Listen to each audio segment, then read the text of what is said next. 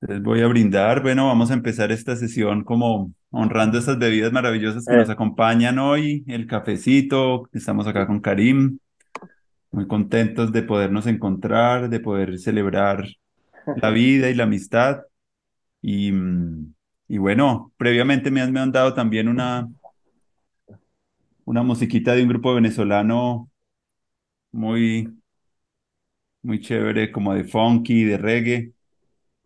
Eh, ¿qué te pareció? está muy bueno, no lo conocía. Funky Fiesta. Sí, sí, como funky fiesta y muy, muy chévere para, pa- para empezar la mañana. Y bueno, yo conocí al Apache, que es un rapero venezolano, ese sí lo había escuchado. Y bueno, también estuve viendo también el programa que te ¿De hicieron nombre? en, No, nunca lo escuché. sí, Apache. El, el, el moreno, el negro que estaba cantando es, es un buen rapero de allá de Venezuela. Y, y maravilloso, maravilloso siempre la música acompañando Mm. pues lo que hacemos y y muy contentos de estar acá contigo para conversar un rato y hablar de nuestras experiencias y de lo que estamos haciendo, de nuestros proyectos y de que nos conociéramos más. Entonces fue muy bonito porque eh, la Universidad del Futuro nació hace como en el 2021, buscando conectar personas que están trabajando en espacios de educación alternativa desde el arte, desde la, desde muchas áreas del conocimiento y como que conectarlas es como uno de los principios de los cuales pues hacen que estemos conversando tú y yo acá, buscando como conectar, buscando intercambiar, buscando hacer jam, así como hacen los jazzistas al improvisar música y de tocar música juntos. Yo creo que lo que queremos hacer con esos programas es como que tocar música juntos. Entonces, estoy muy contento y bienvenido conversar un rato. gustaría que te presentaras y co- contaras algo de ti, de tus experiencias. Sería maravilloso empezar por ahí. Gracias, gracias, me alegra mucho. Mm, Bueno, eh, mi trayectoria empieza en, o sea, durante y después de la primavera árabe, como le dicen. Eh, así que les comparto mi experiencia desde el Cairo em, y desde la Plaza Tahrir de la, de la Liberación que, que, me, que me dio el, el,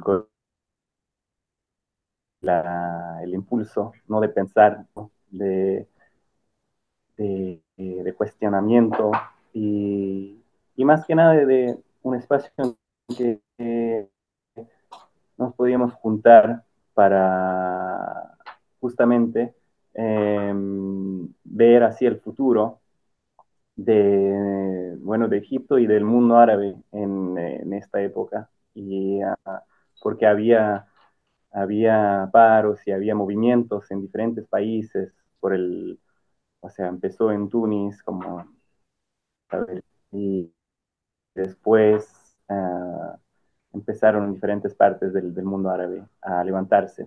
En fin, yo mmm, veía que, que, la gente tenía esas ganas de, de, de, imaginar juntos, de ver cómo habitar la, la ciudad de forma diferente, eh, de organizarse con respeto a la salud, al, empleo y en, o sea, la gente hacía preguntas cómo podía dejar su carrera y mmm, el trayectorio para hacer algo más social, algo más creativo uh, en el ámbito. ¿Se escucha? Sí, se bloquea un ¿Me escuchas, poquito a veces, se pone un poco lento a veces la, la señal, Ah, pero, mm, pero continúa ahí que... dale, muy bien. En fin, eh, yo lo que, me, lo que más me inspiró era el, el urbano del, del Cairo, que es que una ciudad muy, muy antigua, eh, con, con, con, varios bien diferentes, rincones así medio escondidos, em, calles principales y calles muy así como eh, olvidadas, y, pero un, como un element, elemento que se encuentra por toda, por toda, o sea, por toda la ciudad del Cairo, pero también de Alejandría y de otras partes de, del mundo árabe, son los, los cafés, eh, los cafés de la calle, que son como tipo garajes que mm. se abren con sillas y, y ahí vas creando como eh, asentamientos temporarios, si quieres, y con, con mesas muy chiquitas, solo para caber el, la, la té o de café, se toma, se toma mucho café turco, o también la, la nerguila, la, la, pipa con agua que se, se, se, ponía al lado. Entonces, y de esa manera se charlaba, se discutía de lo que estaba pasando, los cambios a nivel social, político, eh, en fin. Entonces yo, yo, yo, yo dije que, ah, ahí ya, ya, ya existen las universidades del futuro. O sea, que ya, ya son, ya hacen parte del tejido urbano, del, del que faltaba eh, algo de para comer, pero en el sentido metafórico, o sea, algo para compartir conocimiento, sea un texto, un podcast, un ejercicio que se podía hacer. Entonces yo, yo quería añadir algo al, a los cafés de, de, de, las calles del Cairo y no alejarme, o sea, veía que las universidades que, estaban en las, afueras, la periferia de, la ciudad, que no servían la gente en el día a día y que en el día a día la gente solía sentarse por lo menos una vez al día para, para tomar su café uh, o su pipa. Entonces yo, yo, les quería hablar algo, como le decía en inglés, food for thought, o sea, algo para comer uh, ideas, conceptos, um, en, en, fin. Entonces, veo que el, la univers Universidad del Futuro ya está presente en el tejido urbano y Claro, a veces solo, solo necesita como un toque y algo, um, ah, en fin, eso era un, un poco la, el, punto de, de, partida para... Buenísimo. Buenísimo porque las experiencias que yo tengo más importantes en mi espacio de formación universitaria y también como en lo que son como mis aprendizajes más importantes, pues parten mucho de esos espacios del café, donde la gente se reúne, o la calle. Vengo de una ciudad que se llama Manizales y, y hay muchos espacios para compartir. Entonces uno como que es una ciudad pequeña, entonces como que se encontraba uno mucho caminando y caminando como en el filo entre una montaña.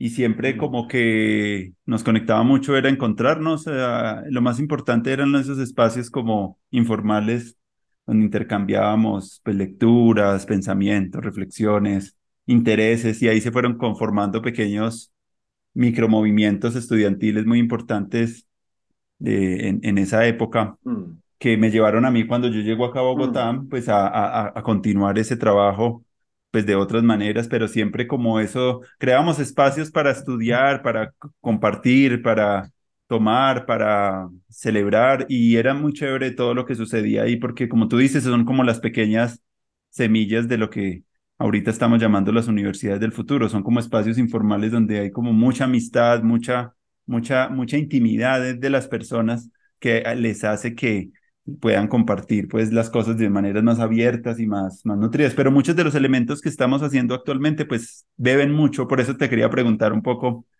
de esa experiencia previa, porque es lo que hace sentido a lo que hacemos actualmente. Por eso cuando hablamos de futuro también estamos hablando de, de esas cosas que nos han marcado. ¿Qué otros aprendizajes de pronto has tenido tú en la vida que sean como importantes, reveladores, así como que hayas marcado como un punto de inflexión en lo que tú haces actualmente, algo que te haya marcado en tu vida para hacer lo que haces. Mm. Y...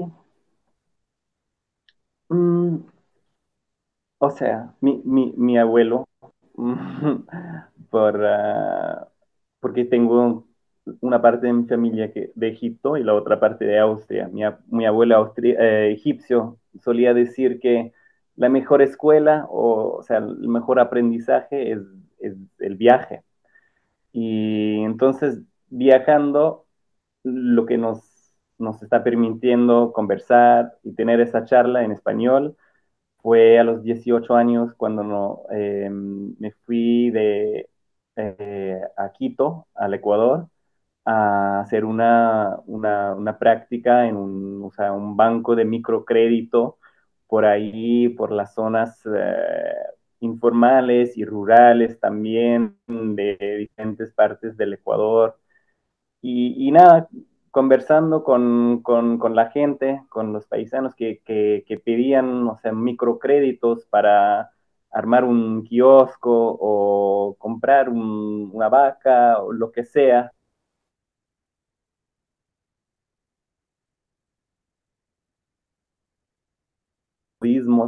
eh, pero también de, de gramática para poder uh, construir una frase, hacer mi, mis preguntas. Pero sobre todo en el día a día, este, en los mercados, por ahí. En fin, eso es, es un ejemplo de un viaje que hice que uh -huh. me permitió ahora tener acceso a red de las ecoversidades uh, y, y, viendo los proyectos que se realizan por ahí. Pero creo que, que el viaje se realiza en el día a día también. Eh, en una ciudad como el Cairo, yo, yo no, no, no, conocí Bogotá o no, nunca estuve en, en, Colombia, pero me imagino que también por ahí debe haber diferentes modos de transporte, de, de transporte, ¿no? Por ejemplo, tenemos como le, le, dicen microbuses y también hay como buses bien chiquititos, así le dicen Suzuki, que son de 8 pasajeros y los microbuses de entre 12 y 15, después hay buses de 25 y 30, en fin, cada bus tiene su, su onda, o sea, cada, cada experiencia de viaje dentro de la ciudad, eh, como sus, bueno, su onda, algunos que ponen música, otros que ponen Corán, o sea, como recitación religiosa, eh, en fin, otros en que la gente se está debatiendo o insultándose, también puede eh, pasar. En fin, lo que quiero decir es que en, el Cairo, que es inmenso, pasamos mucho tiempo en el tránsito, o sea, mudándonos de un punto al otro. Y, y, siempre pensaba en que, ajá, ¿qué se po podía... Mmm, eh, o sea, cómo se puede pensar es, este tiempo en, eh, de manera más pedagógica. O sea, se puede escuchar un podcast, se puede hacer algún un sueño, así como pensar en un, en un futuro alternativo, lo que sea, pero algunos así ejercicios o cositas que se pueden eh, integrar en estos momentos de tránsito. Porque, o sea, veo que mientras uh, pasamos por la ciudad, vemos lo que, lo que vemos a nuestro alrededor y, y nuestros pensamientos.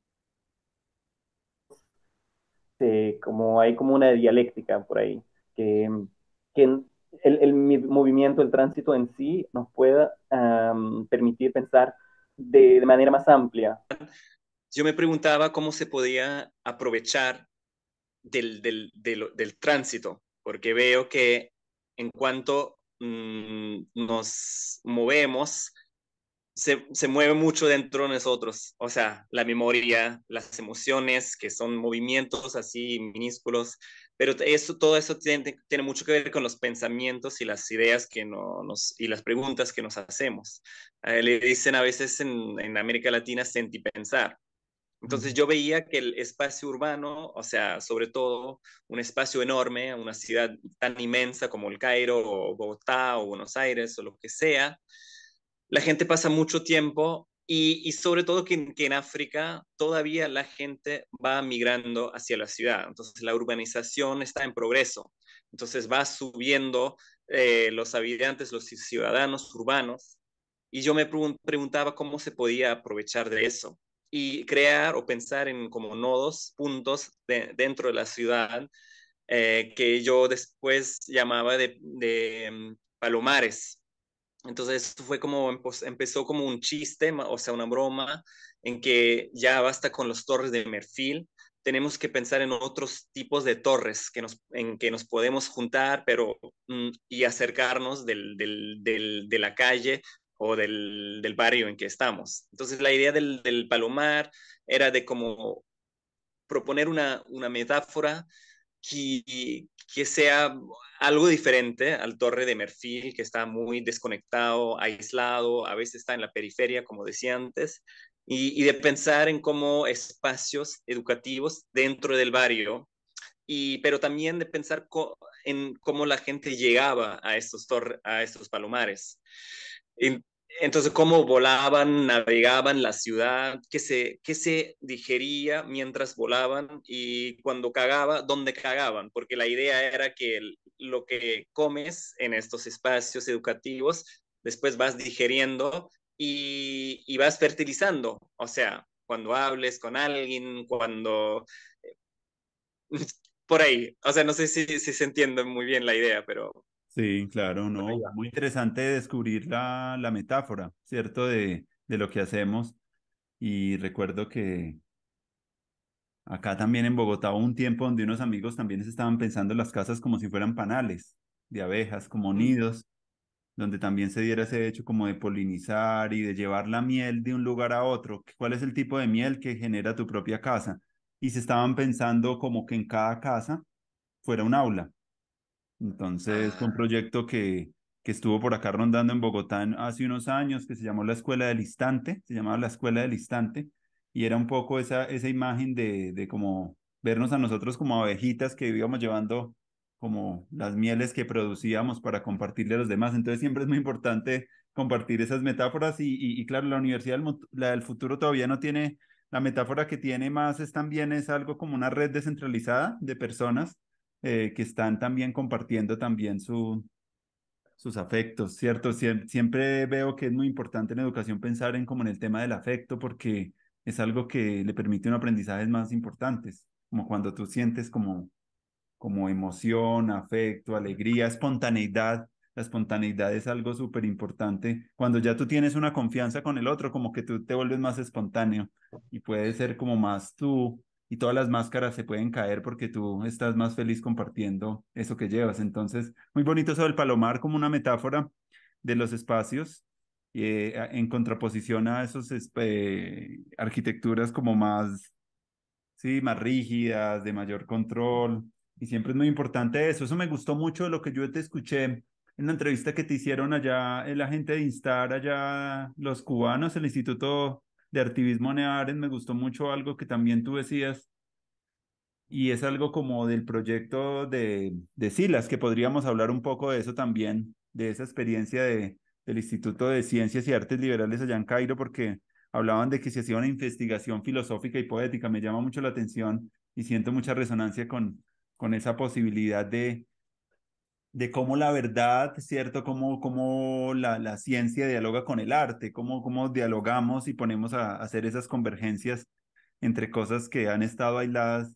Eso debe ser como parte del esfuerzo de, de cualquier espacio educativo nuevo y emergente que esté saliendo, que pueda conectar la imaginación. Y yo creo que una de las cosas que a mí me, han, me han gustado de estos programas que yo vengo haciendo es que también estoy como asusando e incentivando como la imaginación de la sociedad a, reconstruir, a, hacer algo nuevo, inventarnos. Puede que sea algo como medio soñador, pero es muy importante llevar a la sociedad como a imaginar y a la reconstrucción de nuestras instituciones y decir, ve, ¿por qué no las podemos hacer así diferentes o cómo las podemos hacer mejores para que nos sintamos mejor? Entonces ese espíritu de la imaginación me parece muy chévere en eso que tú haces.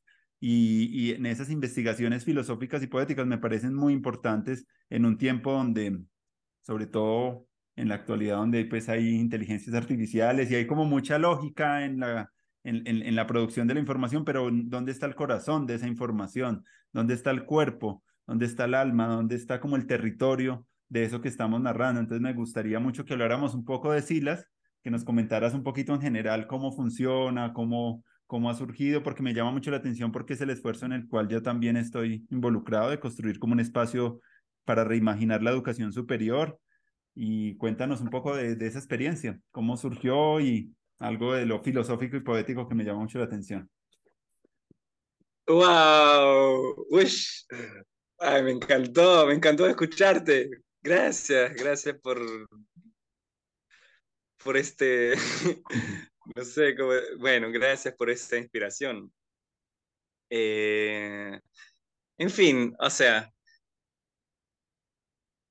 lo de los, de los artes liberales eh, es como algo bastante conocido en el mundo eh, anglófono, ¿no? O sea, en Estados Unidos y, diferentes países así anglófonos, sí.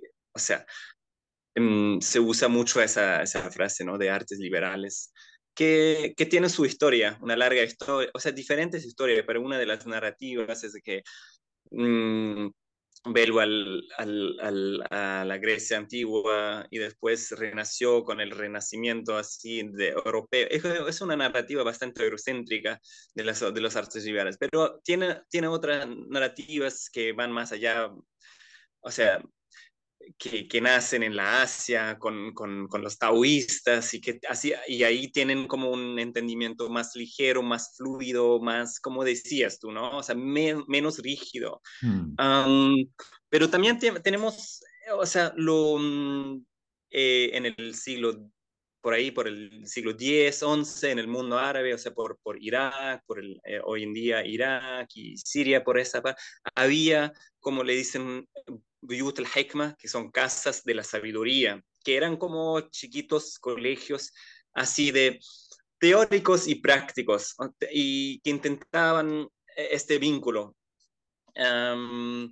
y, ahí se, estudiaba la, medicina que después llega a ser la medicina europea, como se, estudiaba. Eh,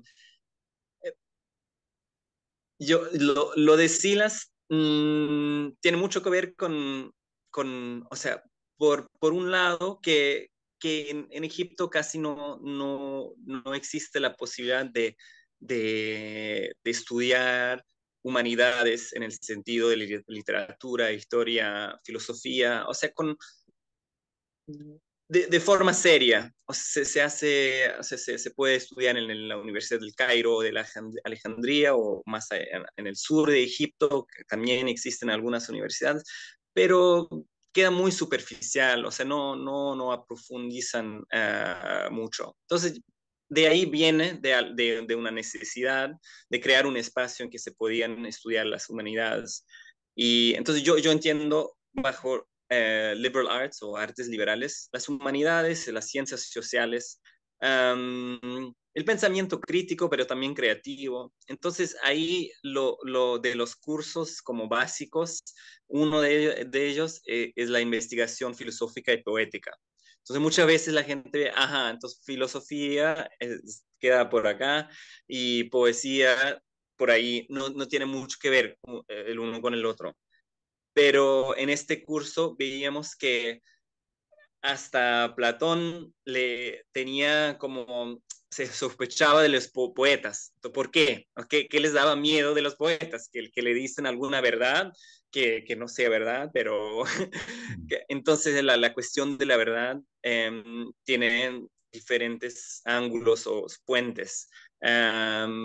bueno, y de ahí, o sea, veo que hoy en día em, en, en, nuestros círculos se habla mucho de imaginación, hay que como em, generar o invitar la, eh, la, imaginación, pero al mismo tiempo, y eh, con eso se refiere a la, filosofía, necesitamos pensar de, de, manera coherente también, no, no rígida, pero que, que haya alguna coherencia en lo que estamos diciendo, que, que no sea sistemático en el sentido encerrado, sino como vinculado, podemos mm, mm, imaginarle como una constelación de estrellas, pero veo que lo, se, se complementan la, la investigación filosófica que, que, que busca aprofundir y una poética que más allá, o sea, de repente es más visual, más imaginaria, pero también, en fin, creo que, que por ahí va. Eh, pero al mismo tiempo, eh, de los, de los cursos así como em, básicos, le decíamos, em, había el curso sobre conciencia histórica, que también me parece importantísimo que, que, que recordamos, o sea, que, que, la práctica de recordar y de em, sea algo que, que, que nos viene más, más fácil, o que, lo, que lo hacemos con más, más frecuencia. Ah, eso me recuerdo, me recuerda algo del siglo XIX o más allá. porque muchas veces la gente que está reimaginando la educación se olvida que había muchos movimientos ya en los años 60, en, incluso en, en, América Latina, en diferentes partes, uh, con, el, con, los filósofos de la liberación, que también fueron exiliados a México, a otras partes, pero y incluso antes, en el inicio del siglo XX, había tentativas de repensar la educación, el espacio educativo, y había gente como Montessori, que más conocidos, pero también había como proyectos y tentativas menos conocidas, más chiquitas. Uh, en Alejandría había cosas en Palestina. Yo, o sea, conozco mejor esa, es, esta parte del mundo. Pero lo que quiero decir es que se, se puede aprender muchísimo de, de, de, de, ejemplos históricos eh, educativos. Um, en fin, y la, la, última, el último curso básico es eh, era el estudios etnográficos. La idea era que, de, que la gente observe con más paciencia eh, y de, mm, con más cercanía. Día a día. Se complementan los tres muy bien lo etnográfico de ir a, a conectar con alguna experiencia o hacer alguna observación de su entorno urbano o mirar un poco su territorio, con la conciencia histórica que también es muy importante para uno ubicarse y mirar sus, linajes, las herencias, las personas que han, como decía un sociólogo chileno que lo conocí en los años 2000 acá en Manizales, se llama Hugo Semmelman, que nos hablaba mucho de la conciencia histórica a diferencia del pensamiento categorial, él anticipaba como, él nos preguntaba que cuáles eran las metáforas de América Latina, cuáles son como los gérmenes creativos que están surgiendo y como tener un poco esa mirada nos, nos, nos, nos, nos invitaba también a, a, a, a ubicarnos dentro de un contexto que tiene sus recorridos, tiene sus autores, tiene sus experiencias y, y, y, y no solo esa conciencia histórica afuera, sino también adentro, también dentro de nuestros experiencias personales, pues ahí también hay otros linajes, o por lo menos en el caso mío, como ver como la tendencia musical de mi familia y ver como muchos son educadores. Curiosamente, como que uno a veces cree elegir cosas, pero muchas cosas uno las elige también de acuerdo a una cantidad de experiencias que hacen parte de su conciencia histórica, que sea o no consciente, pero como resulta determinando uno su vocación, su arquetipo ah principal de lo que le mueve a hacer y uno dice, pero ¿por qué me gusta y esto lo hago como con tanta comodidad y tan facilidad? Claro, hay también una, hay, es, es, chévere también hacer esa conciencia histórica. Entonces, y lo otro que tú hablabas de la investigación filosófica y poética también súper necesaria y súper, súper importante para, para pensar también no solamente con ideas, sino también pensar como con el movimiento, con el cuerpo, como con la creatividad que puede surgir eh, que es donde uno ve, ve que a veces las universidades como que todavía están como con el imperativo mucho del libro como dispositivo de socialización del conocimiento y verse que hay tantas maneras tan bonitas desde el performance, desde el audiovisual, desde, no sé, muchas, muchas actividades, incluso ancestrales, que pueden ser formas también de compartir y de consolidar un conocimiento a través de un ritual. Entonces, como que el llamado también de, de, de estos espacios educativos nuevos es también a, a, a, a tener esa conciencia. Y una de las cosas que me gustaría saber mucho, porque pues lo hace diferente, es también pues el lugar donde tú estás. Eso también debe influir mucho en lo que tú haces, ¿cierto? Como hablar de Egipto, el Cairo, incluso ahorita mencionabas el taoísmo. Y yo he escuchado también de otras religiones muy antiguas como el zoroastrismo, que son muy importantes en esas regiones y que tienen una he seguido mucho a un, a un, autor que es un filósofo que se llama Alexander Barr, que él se considera zoroastrista y él habla mucho desde ese lugar y como que para él es algo importante, como unas religiones, habla de la ruta de la seda y de unas, de, unas, de unas lógicas y unos monas, como de unas, de unas maneras de, de, de construir sociedad y construir entornos de intercambio que, que valdría la pena conocer más dentro de esa conciencia histórica. Si nos podrías comentar algo de esa línea, de esas regiones, me gustaría mucho informar porque pues eres el primero de estas regiones en estar en el programa. ¡Wow! ¡Qué bueno! Uh, sí, o sea, me, me, me, muero por, por conocer Irán y, y, y aprender más del zoroastrismo. A ver, ¿cómo se dice? Zoroastrismo. Zoroastrismo, ajá. Y, o sea, recién eh, festejaron el, el Nuruz, que, que, es el como el año nuevo, y, y, y tiene mucho que ver con prender fuegos y, estar como enredados de, de, fuego, ¿no? O sea, para empezar el nuevo año hay que quemar lo, lo pasado para poder sembrar, como decías, y uh, nuevas semillas. Entonces, el, el, sé que el, que el papel del fuego es importantísimo.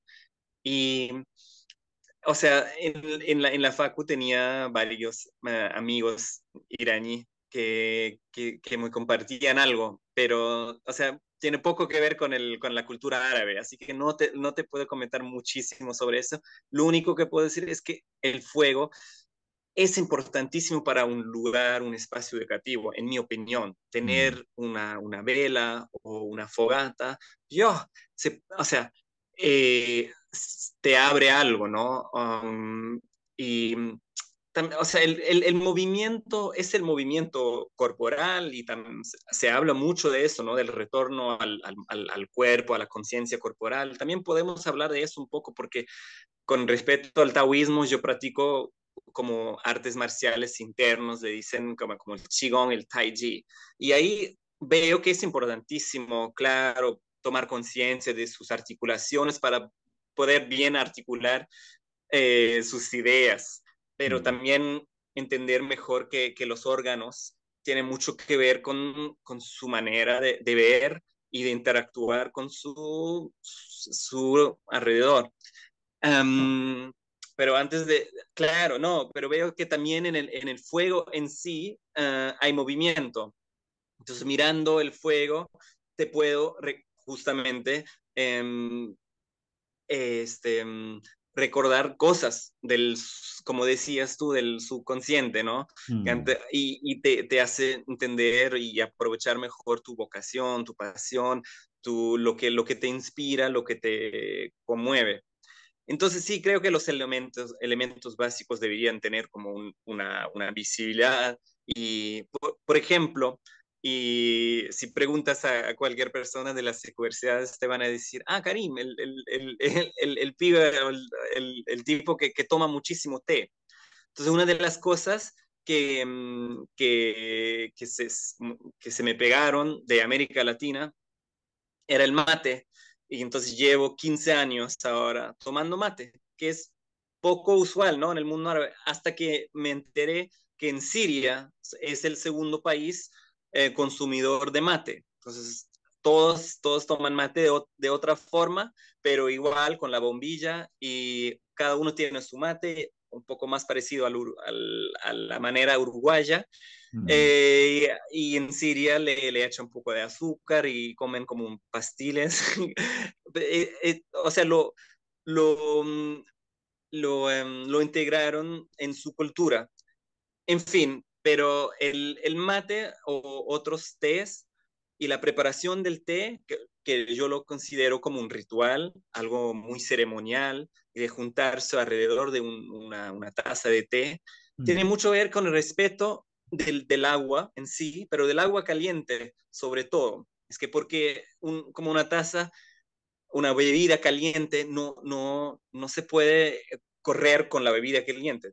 Te, te, te, toca como mm. tranquilizarte y centrarte y, y, ahí eso te permite como reorientarte, porque si no, mmm, existe este riesgo de, de, seguir siendo muy rígido, como decías también. Entonces, veo que los elementos se, pueden mm, abordar e incluir de formas, bueno, en cuanto a rituales, pero eh, de forma pedagógica en mi, en mi, ah, en mi experiencia. Entonces yo, yo siempre les invito, por eso también te pregunté, ¿tienes tu bebida para empezar la charla? Y claro, porque veo que a veces ah, hay que tomar una pausa y dejar el pensamiento, soltar el pensamiento, volver al corazón, porque yo veo que la taza es como un, reflejo, ¿no? Del, del, del, corazón y de, nada, y de, de darle respeto.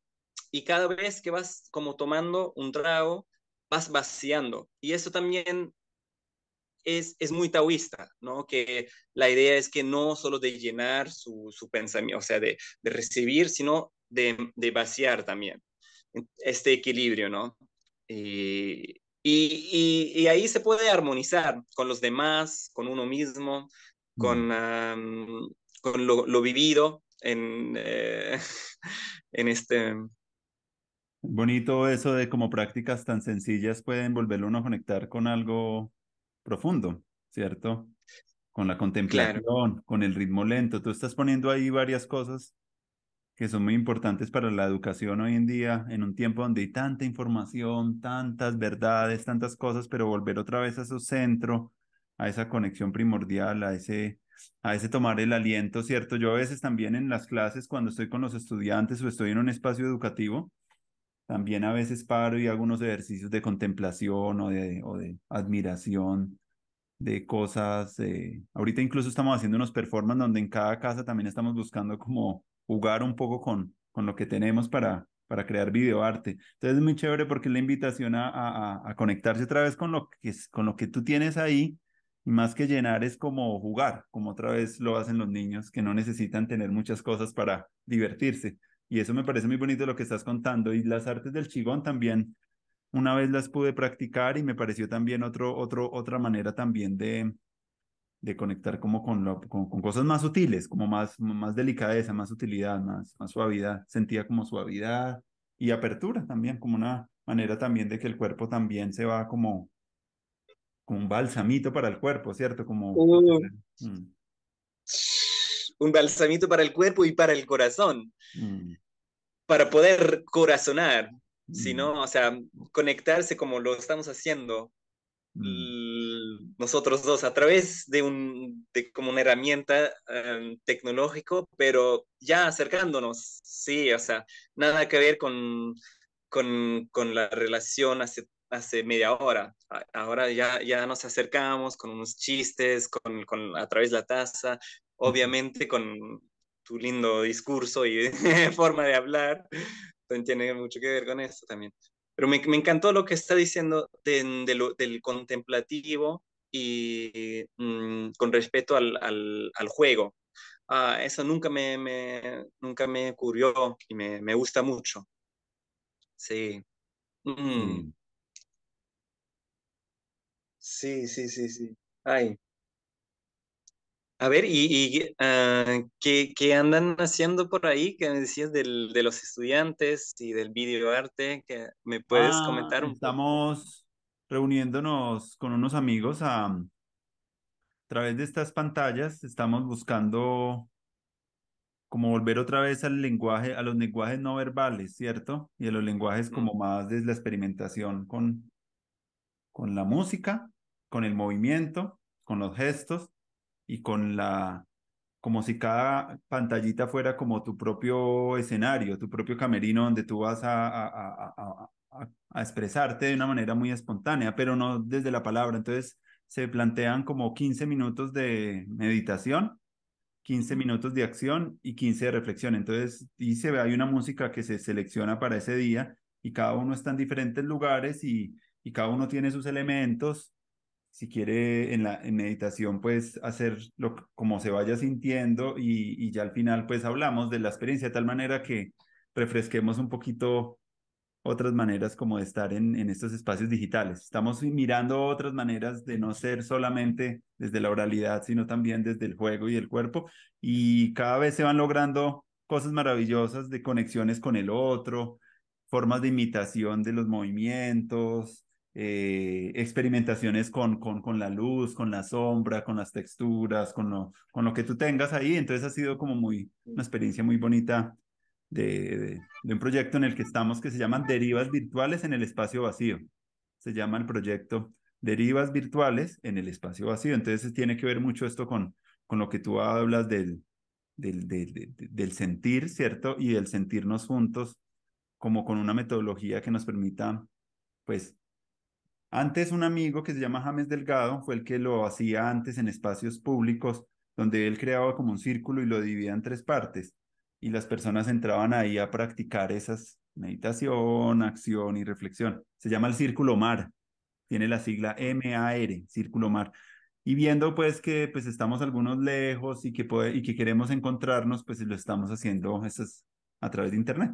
Y ya llevamos como tres encuentros y ellos ya lo vienen como se está convirtiendo como una metodología para, para, para, para, para conectarnos y para compartirnos, no solamente desde la... Entonces, cuando termina uno de hacer las acciones y la meditación, a la hora de hablar, pues ya se le ocurren, pues ya va más oxigenado, está más, pues va a decir otras cosas que, como tú decías, sin el calor y la intimidad de la conversación y de la cercanía, pues va a ser algo más frío, pero ya cuando existe ese calorcito que da la mm. bebida, que da la escucha, pues van a empezar a surgir cosas nuevas. Y mantener un grupo así por un tiempo puede llevarnos a, a lo que estamos buscando también en la Universidad del Futuro, que es colaborar, que es co-crear.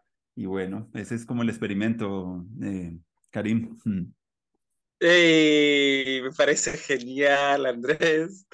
O sea, no, no creo que sea eh, casualidad que la, la, metodología se llama MAR, porque veo que es con, con, con, esa práctica, ¿no? De meditación, acción, reflexión, uno se está acercando del mar en el sentido de vas flotando en el mar, ¿no? Y, o sea, pero más allá que si mmm, su, subes a un barco y, y, ahí, o sea, hay que coordinar, si no tienes, la, tienes el, el, el, viento y a veces las olas pueden mm, subir y entonces es como una preparación para llegar al mar, para poder navegar el mar con, toda, con todo su movimiento.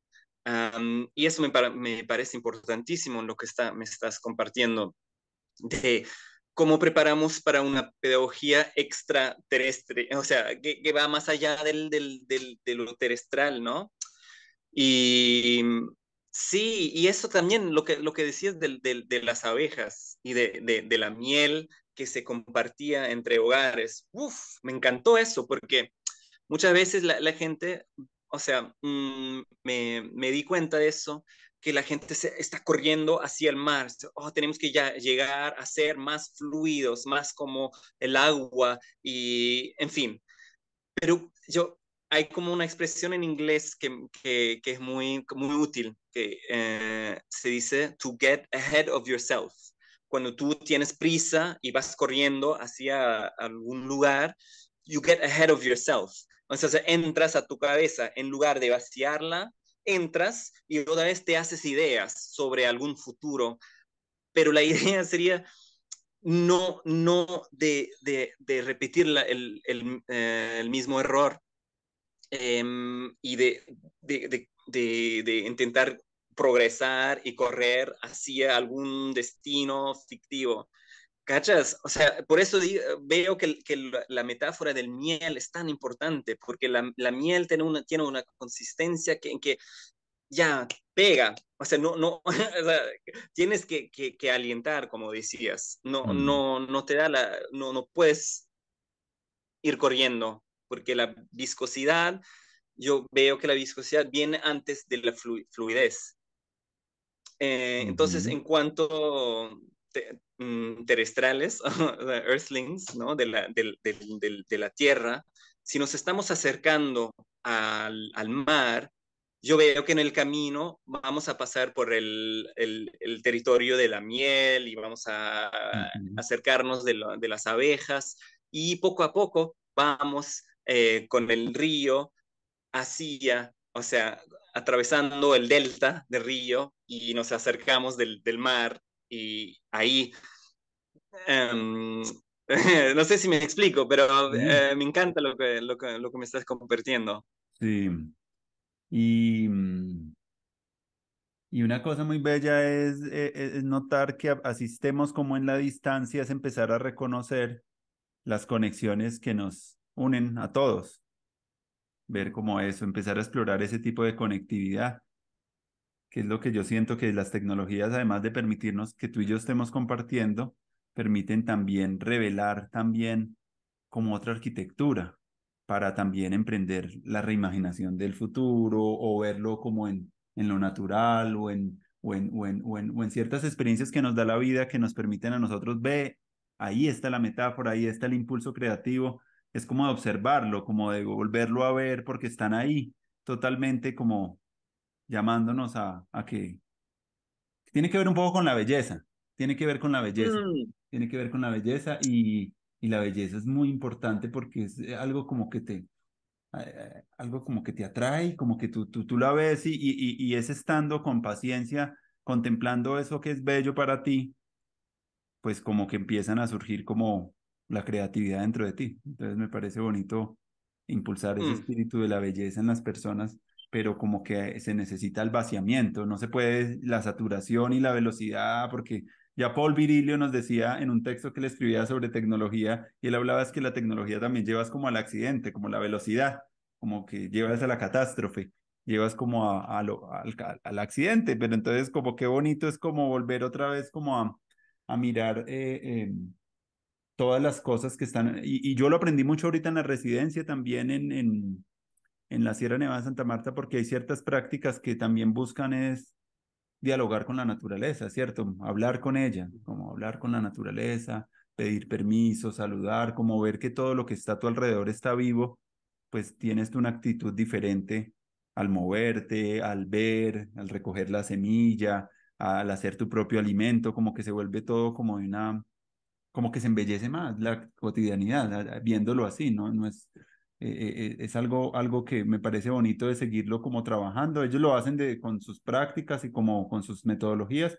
pero sí siento que hay una gran fuerza en, en poder otra vez conectar con esas cosas que nos atraen a nosotros y que, y que, y que, y que, que son bellas, que la belleza es algo mm. importante. Yo, yo hace poquito veía muy bonito eh, un grillo y las hojas y yo veía, pero si son como lo mismo, pues no se sabe quién imitó a uno o quién imitó al otro, pero como que el grillo tiene la misma textura y las mismas formas de las hojas y, y, la, y, las, y las hojas están llamando también al grillo. Hay como una atracción de, de, de, de ese impulso a la conexión y al, y al contacto que en la pedagogía es como muy importante. Hmm. Mm, el impulso y el contacto. ¡Wow! Me encanta lo que estás diciendo. Sí. Sí, cachas que en el uh, hay, hay este libro de los, de los años 70 de un economista, creo que era, pero filósofo más que nada. Que el, el título del libro es que lo, lo, lo, pequeño, lo chiquito es bello. The small is beautiful, algo así. Y creo que como en, en empezar con algo muy chiquito, como el grillo, la hoja, como decías, es, es muy buena práctica de, de um, reconectarse o ya acercarse otra vez del, del, de, de, lo bello. Uh, por eso también yo cuando, ya, ya, te, ya te contaba lo del té, ¿no? Que siempre servía té en, en las charlas, en las discusiones que hacemos siempre lo sirvo en, en, en, tazas muy chiquitas. O sea, acá tengo una que está bastante grande, pero sin, sin mano, ¿no? O sea, para poder, o sea, agarrarla así, calentarse las manos y como centrarse, como decía, ¿no? Relajarse los, los hombros y tal. Pero que cuando esté muy chiquita y vas tomando y se la, ah, ya está vacía. Bueno, muy buena práctica. La lleno otra vez y la vacío otra vez, que es como algo que, que, que, que siga. Y, y, y, puede ser con cosas muy así de cotidianas, pero chiquitas. o sea, hace que, lo, que lo, lo, lo, chiquito y lo bello veo ahí como un vínculo también. Sí. Es muy chévere eso Mm. de,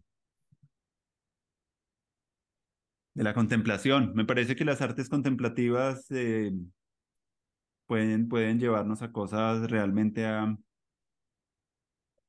cosas pues realmente nuevas en nosotros, porque pues ya hemos intentado por otros lados y ya sabemos a dónde uno puede llegar haciendo determinadas cosas, pero como, como, como con la contemplación y sobre todo ahorita que con la que empezamos hablando en nuestro encuentro de que vivimos en ciudades como muy ah, grandes, pues Sí. personas han perdido el contacto también como con su, con, con la, con la propia con las propias miradas y eso, y eso, y eso me parece muy bello poder volver otra vez a, a, a sentir al otro, porque si, si dicen que una de las cosas, por ejemplo, en mi país que ha sido muy violentado por, por, por el conflicto armado por muchos años, lo que se ha perdido mucho es la empatía de las personas, entonces como que nosotros como pedagogos nos estamos preguntando también cómo, cómo fortalecer la empatía.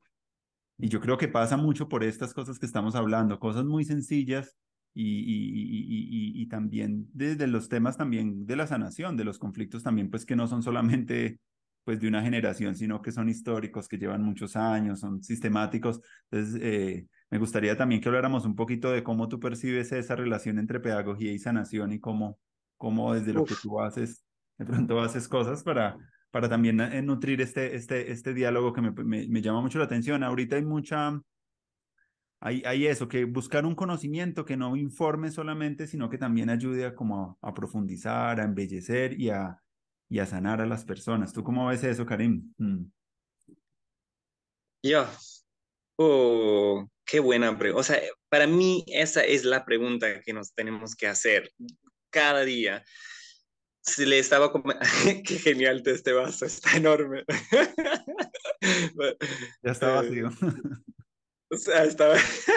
bueno, hiciste buen trabajo. Eh, no, o sea, le, estaba comentando a una, una compañera y que en, las, en el espacio y lo,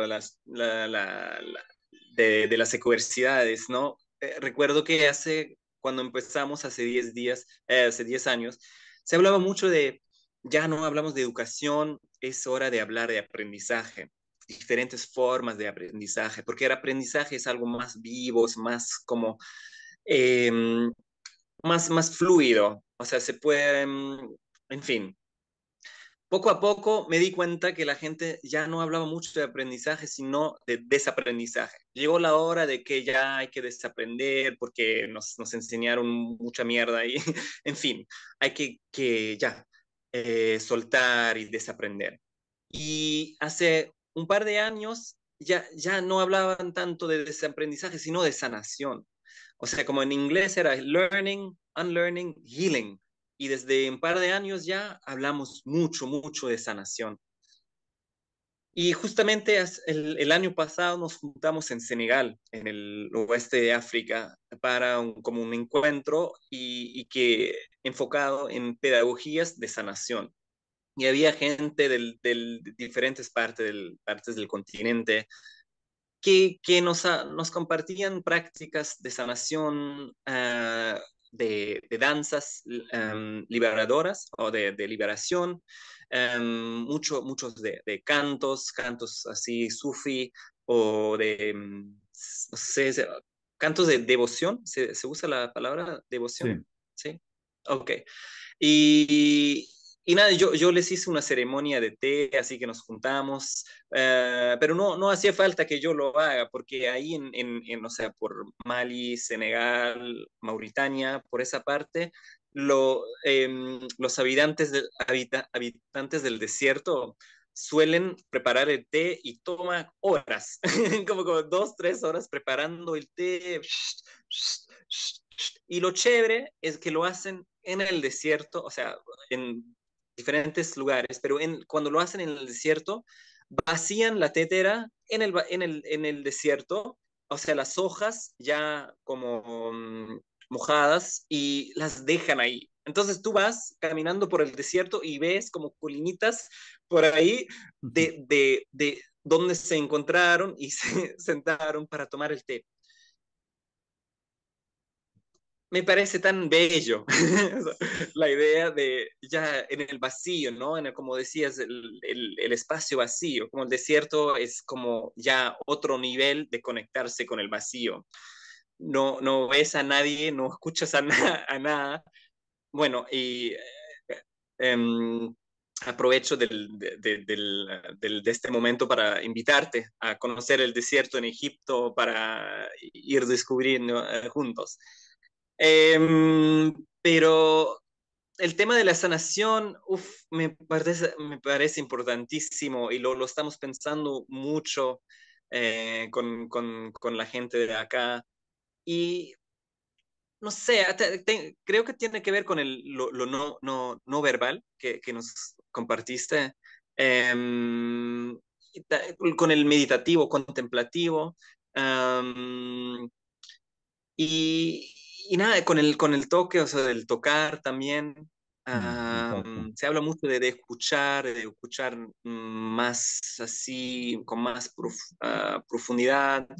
Um, Así que lo, lo, que lo, que lo que están haciendo con el mar me parece genial. O sea, y lo, y lo chistoso es que yo cuando te compartí el, el, este, el Tiny Desk antes de nuestra charla, lo tenía pensado ya antes de escucharte. O sea, ok, nos, nos toca algo de música para, de preparación.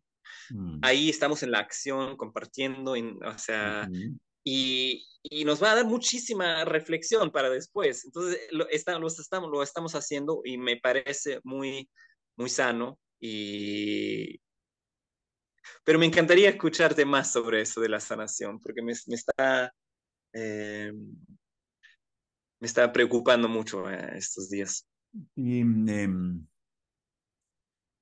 se necesita un poco volver al cuerpo, ¿cierto? Volver al cuerpo porque muchas de las marcas que han estado, pues, con los dolores más profundos que hemos tenido se van haciendo como nudos en el cuerpo, se van haciendo como actividades repetitivas que pueden ser autolesivas para nosotros, son como mecanismos, como un mecanismo de supervivencia en algún momento que uno hizo para lidiar con alguna situación difícil, pero ya luego como esa situación ya no la necesita y uno sigue operando frente a mismo como el trauma, como algo que le, que le causó como impacto y una herida o alguien que eh, en alguna relación de pronto sintió el desamor o se sintió como mal o, o, o, o una, una cuestión de abandono, cuestiones del conflicto armado, de desapariciones que ha habido también mucho en nuestro país, porque ha habido mucha violencia en nuestro territorio. Entonces, son territorios que si uno se pone a pensar, ahorita se está haciendo todo un asunto alrededor de la paz,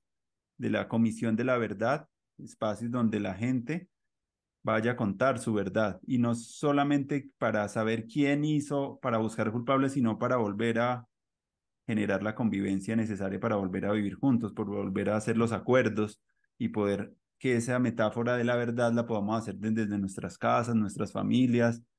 Yo como educador lo hago con mis estudiantes, vamos a contar nuestras verdades más profundas y eso ya conectar con eso es conectar con la sanación, porque es como volver a mirar algo para, para transformarlo en otra cosa, para mirarlo desde una perspectiva diferente. Pero para eso se requiere espacios de intimidad, se requiere espacios de confidencialidad, de silencio, de poder estar como con la intencionalidad dispuesta de qué es lo que se está buscando, si es la sanación o es como la competencia de quien tiene su propia verdad. No, acá se trata es como de, de buscar que y a veces solamente escuchando la gente va aprendiendo del otro, le va revelando sus propias verdades, va encontrándose en los círculos de palabra, en los espacios donde, donde las personas se encuentran. No necesariamente se quiere, necesita hablar, es solamente como asentarse en un lugar para, para hacer que esas verdades... Quiere decir, lo que sana no es el individuo como en la relación psicológica, como con el psicoanalista o el psicólogo, sino que es la, tu comunidad de amigos, de personas que te, te quieren, te valoran, y que saben que, mm.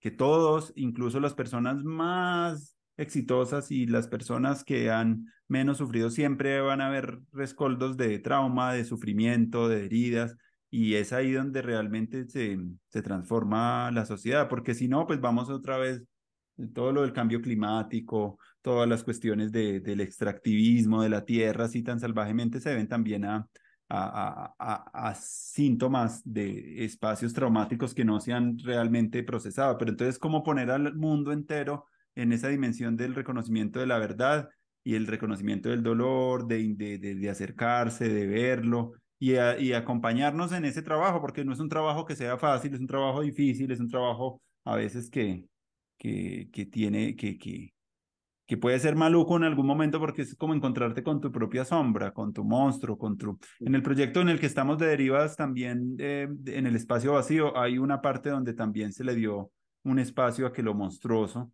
pues apareciera.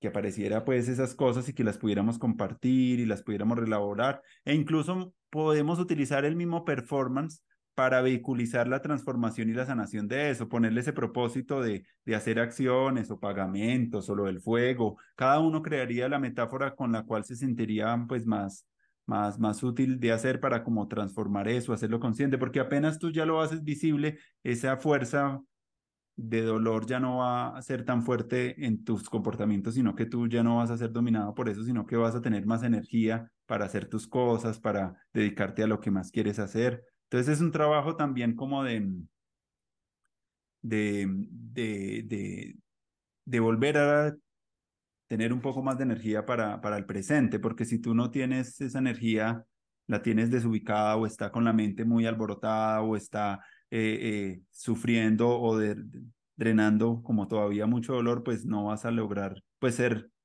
algo como más poderoso en tu vida. Entonces, eh, eso, eso hacerlo colectivo con toda la creatividad, con los, rituales ancestrales también nos pueden ayudar a, a sentarnos y a, estar alrededor de un fuego, a tener metodología. La musiquita es importante, la música es muy importante en esos, para no darnos cuenta de que se va a hacer la sanación solamente es como desde la oralidad o desde la confrontación o desde quien tiene la verdad, sino como que, que todas esas verdades pues van a nutrir al colectivo como su propia miel. Digámoslo, ahí lo que se va a poner es como lo amargo y lo dulce, como el chocolate y el amargo del chocolate y el dulce de la miel, como que trabajar con esos dos sabores eh, que en la cocina son tan importantes, a veces como el picantico, pero también el dulcecito que le contrasta, como buscar esos contrastes para que no nos quedemos solamente, que es lo que pasa también mucho en las comunidades alternativas, donde todo el mundo se pone desde el lugar de lo bueno, ¿cierto? Pero a veces no, al no contemplar lo monstruoso en sus vidas y en sus relaciones, pues se vuelven como sectas, se vuelven espacios como muy impermeables a, a, a, a entonces todo el mundo cree que si todo el mundo hace esto, todo, todo ya todo cambiaría. O si todo el mundo hace, es un poco le, eh, arrogancia y egocentrismo de, de, lo alternativo. Entonces volver otra vez a lo monstruoso y a las hombres como que ser un poquito más humildes y ser más compasivos con los demás y ser más, más abiertos a, a que si de pronto a, hacer conciencia de los privilegios que hemos tenido, ser conciencia de nuestros dolores. Incluso una mm. metodología que yo me inventé leyendo algunos autores del tema, es como que construir como pequeños museos o gabinetes de las heridas o de los momentos en los que nuestra dignidad se ha violado desde que tenemos conciencia y hacer como ese inventario, pero a través como de micromuseos pequeñitos donde llevemos objetos y que cada quien abra ese micromuseo frente al otro y nos invite a entrar ahí. Y ver eso como así como vemos una obra de arte, una película, como que entremos también con ese amor al dolor del otro para ayudarle a sanar esa vida y como decirle que, que cuando nos damos cuenta todos tenemos algo también ahí y que si la mejor cosa que podemos hacer por las futuras generaciones es acabar esos ciclos de sufrimiento que se han postergado por familias, por tradiciones y llega a que uno dice hasta acá llegó esto y le hace como el, el, el, el, trabajo que hay que hacer. Es un trabajo que también se tiene que hacer en comunidad, pero te digo, se tiene que hacer con mucha humildad, con mucha, como, como poner el cuerpo en esa dimensionalidad, así que cuando tú estás en el fuego, como estás escuchando música, como en ese mismo placer, en ese mismo acto erótico, de cómo tú te acercas a lo que para ti es más bello, así con esa misma alegría y con ese mismo amor, llevarnos a, con metodologías que hay que construir en pedagogía, obviamente, para buscar llevar a ellos en un viaje que, que sea como, uff, que sea así como entrar en ese mundo. Entonces eso como yo lo vengo haciendo con el gabinete de curiosidades, como en esos micromuseos, em, también eh, eh, buscando que las personas conecten con los movimientos sociales acá en Colombia, con líderes sociales, porque acá han matado mucho a los líderes sociales en Colombia y los siguen matando todavía. Entonces, ¿cómo llevar a, que, a que, a que, a que ese, ese, liderazgo social, pues podamos aprender más de ellos, cómo darles un poquito más de, de, de cómo llevar a una persona joven con una persona mayor que tiene una experiencia en un territorio y como, como en ese acto de, de, con hablar con una persona mayor tú vas a aprender, como llevar mucho a ese tipo de dinámicas, creo que también hace parte de la sanación, porque es empezar a ver ya esa matica del, del liderazgo como algo importante que, y ver cómo lo han hecho con tantas dificultades y cómo que eso te interpela a ti a, ser también tu líder de tu propia comunidad. Entonces, como que muchas de las metodologías que yo trabajo están como conectando a la gente en esas etnografías, están muy conectados con lo tuyo, porque es como hagamos etnografías de, de las personas que, que producen ese tipo de, de, sabiduría en los territorios.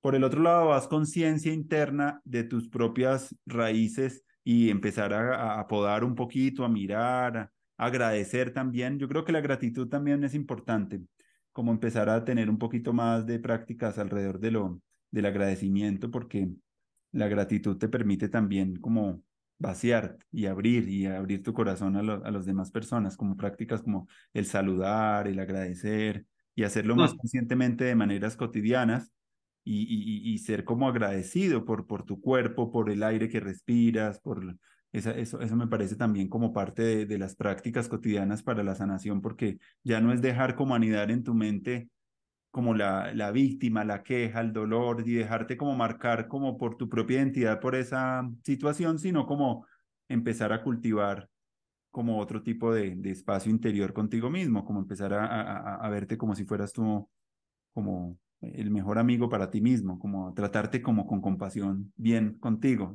que es lo mm. primero que hay que hacer. Si tú no te tratas bien, pues es muy difícil que pues, puedas tratar bien a los demás. Si tú no pues, te escuchas bien, es muy difícil que tú vayas a escuchar, porque si tú no te escuchas bien en un momento de un círculo de donde se estén hablando de esos temas que son duros, pues tú vas a tener el contagio emocional, te vas a sentir que te van, es como si te tocaran un botón donde te alumbras y te pones rojo, histérico, pero te, se, se, requiere como, como invitar a, a crear espacios donde la escucha profunda, lo que tú decías, pues pueda, pueda la gente recibir eso como, como miel, recibir eso como miel. Eso es lo que diría por el... Mm.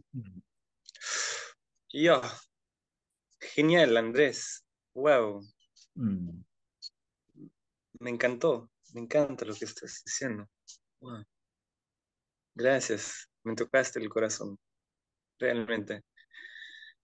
Yo, o sea, una cosa que me encantó, me gustó muchísimo es del, del, porque también hablo mucho de los gabinetes de publicidades, pero antes de, decías que gabinetes de heridas, eso me pareció súper interesante, o sea, no, no, sé si lo dijiste o sea, con propósito o lo dijiste así, pero porque lo, lo, lo difícil a veces es cuando se comparte el, el, el dolor con los demás es que, que no, no, no, se compara el, el dolor con el, el, dolor de los, los demás.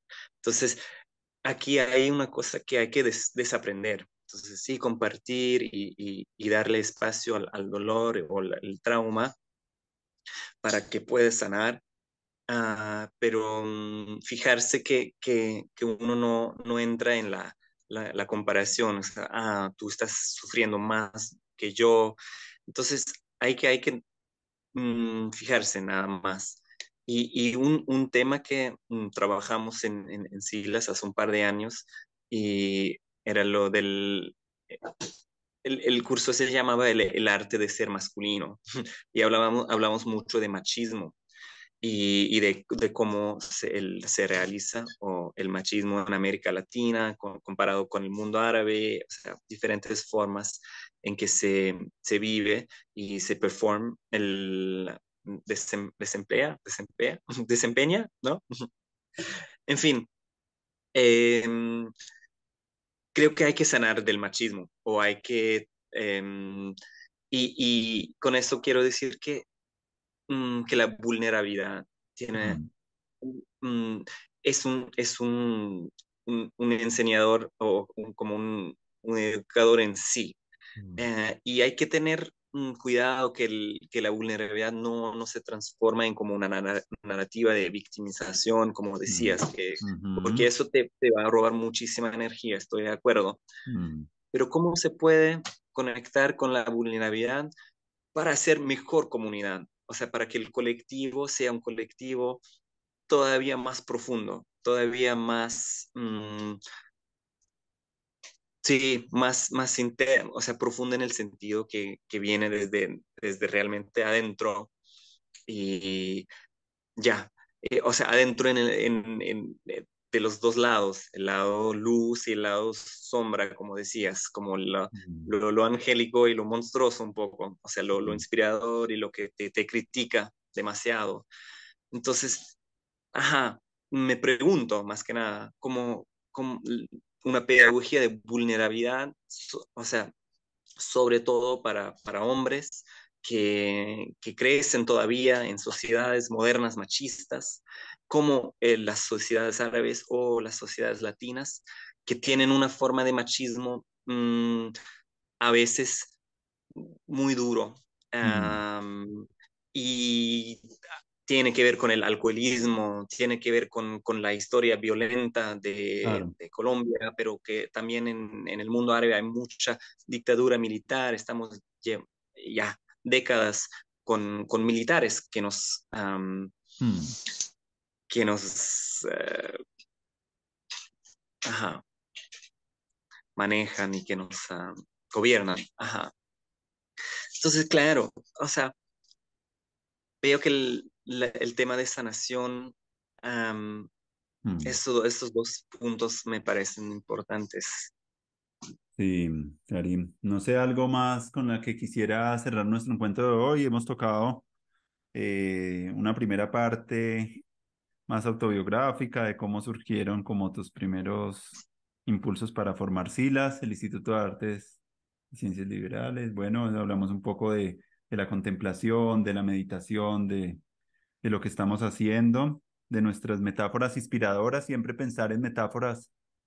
Metáforas significa también como, como una nave en la que tú viajas, como, como una cosa para viajar. Y, y, y, ahorita viéndolo bien en esto de los círculos mar que estamos haciendo en Internet, cada quien está como en su propia navecita espacial. Pero la imitación del otro es impresionante cuando tú estás en la, en la, en la, en la acción, tú no te das, no eres tan consciente, pero uno está totalmente, yo me he dado cuenta con estos ejercicios del poder de la imitación, tan importante.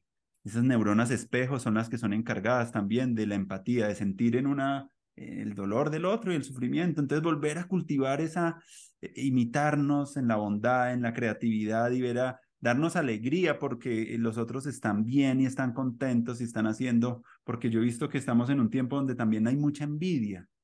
Quiere decir que no nos gusta cuando el otro le va bien o si el otro estamos como buscando como otra vez es un espíritu que ahorita con la llegada de las redes sociales en nuestras vidas como que se, se está comparando todo el mundo quién, como que la envidia ha surgido más y yo siento que es algo que en educación tenemos que estar muy atentos de mm. trabajarlas así como, así como la vergüenza en el machismo y en el ser hombre, pues es algo que a veces es lo que cuesta aceptar como su propia fragilidad, porque pues nos avergonzamos de, de, de, la sexualidad o del poder o de la economía o queremos como, como que hay muchos, como una estructura que nos dice como que nos da vergüenza. Ahorita el asunto de la envidia me parece que es un tema que, que valdría la pena de mirar y es como de poder incluso crear prácticas de, de, contentarnos porque al otro le va bien, de que, de que celebremos de que si al otro le va bien también y es nuestro amigo, pues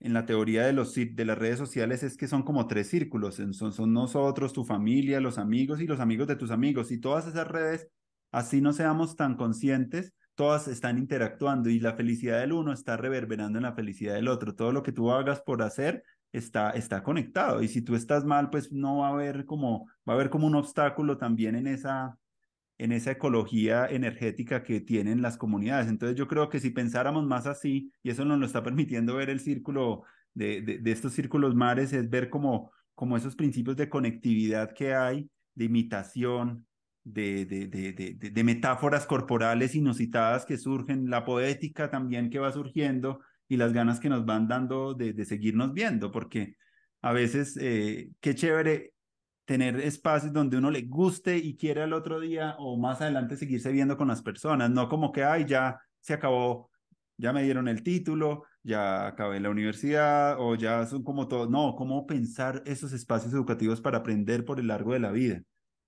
¿Cierto? Como una cosa mm. más que yo quiero, y, y yo lo decía hace poquito en un espacio, que esos espacios así son espacios también como religiosos, en el sentido de que son, religan y conectan a alguien con, no algo de, no, miren que las religiones también han tenido como una, unen a la gente por valores que la gente comparte, por, por, y, y, esa, si, no, si, si desechamos la religiosidad en nuestras vidas, vamos a tener como muy malas religiones, vamos a quedarnos con la religión del consumo, la del individualismo, la religión de la guerra, que también, si uno las mira bien, eso tiene mito, tiene historia, tiene narrativa, tiene eh, fetichismo, tiene cosas, entonces, ¿cómo empezar a, a reencantarnos otra vez con la esfera de lo religioso y de lo sagrado?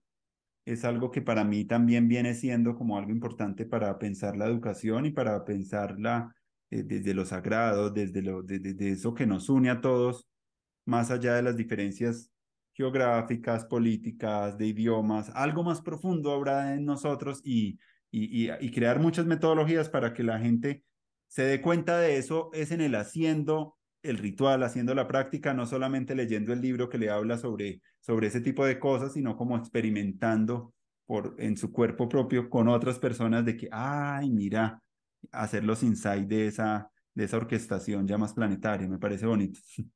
Con lo que quiera cerrar para terminar, sería, me encantó hablar contigo y conocerte. Mm. Igualmente, espero que mantengamos el contacto porque ya me tocaste el corazón y te mm. lo agradezco muchísimo. Muchísima suerte, Andrés.